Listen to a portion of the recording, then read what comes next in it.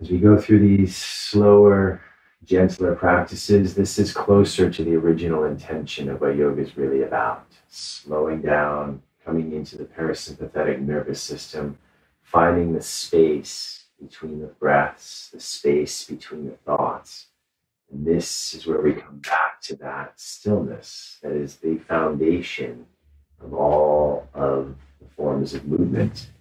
Everything arises from stillness and returns to stillness. And finding that space at the end of each breath and between the thoughts is a way to come back to our true essence, the original stillness within. And that stillness, when we access it, is a place of peace, it's a place of bliss. So we are able to do this when we slow down. So I'm happy that you're able to join me for today's yin yoga practice. If you're able to, try to do a yin yoga practice more than once a week. Our minds are very busy in this modern world with all the stress in this particular time coming into stillness, slowing down, and finding that ability to connect to something deeper than the mind, this is our therapy.